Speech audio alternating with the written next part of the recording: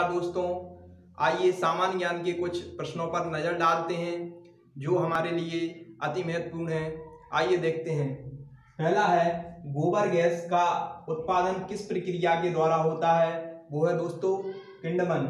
किंडमन एक ऐसी प्रक्रिया है, जिसमें ताप अधिक और दाब पर जो जीवाणुओं द्वारा यह विघटित होकर गोबर गैस का उत्पादन होता है। और दोस्तों, गोबर गैस में कौन सी गैस निकलती है? वो है अपनी मीथेन। कौन सी रहती है? मीथेन। कौन सी गैस रहती है वो? मीथेन गैस रहती है। फूल का रंग कौन सी गैस उड़ा देती है? वो है क्लोरीन। माचिस बनाने में कौन सा तत्व प्रयोग होता है? फास्फोरस। दोस्तों, फास्फोरस इतना ज्वलनशील ये अधातु है जो बाहर वायुमंडल में निकालने पर अपने आप जलने लगती है। इसलिए इसको किसमें? जल में रखा जाता है। किसमें रखा जाता है? जल में रखा जाता है। ठीक? अगला है, पत्ती का हरा रंग किसके कारण होता है? वो है दोस्तों क्लोरोफिल।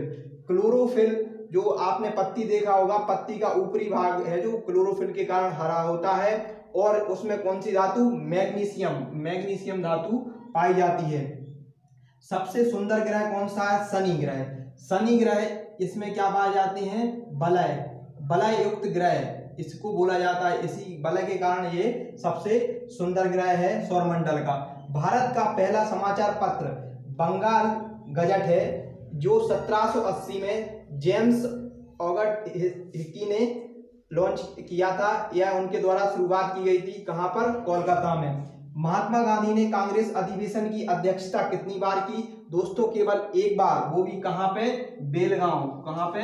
बेलगांव अधिवेशन। बेलगांव अधिवेशन 1924 में हुआ था। उसमें की गई। वेदों की ओर लोटो। किसका नारा है? यह है दयानंद सरस्वती। दयानंद सरस्वती ने शुद्धि आंदोलन को चलाया था। रविवार की छुट्टी कब से शुरू हुई है? दोस्तों, सन 1843 में जब क्या दास प्रथा प्रथा का अंत हुआ था? तब से रविवार की छुट्टी होना प्रारंभ हुई थी।